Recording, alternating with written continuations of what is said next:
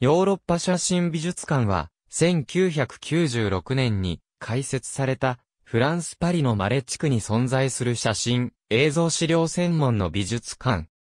MEP との略称が使われることもある。また、ヨーロッパ写真館、ヨーロッパ写真博物館と訳される場合もある。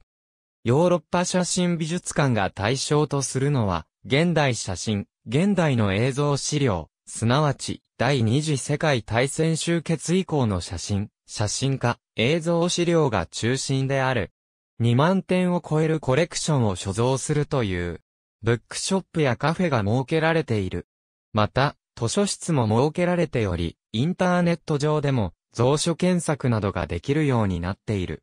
2012年時点のディレクターは、ジャン・リュック・モンテロッソ、またプレジデントは、映画批評家のアンリ・シャピエである。美術館の建物は、18世紀のものであるという。同建物に1990年に設置された、視線の館が元になっている。より、ヨーロッパ写真美術館について、本格的に紹介した日本語の文献は、まだない。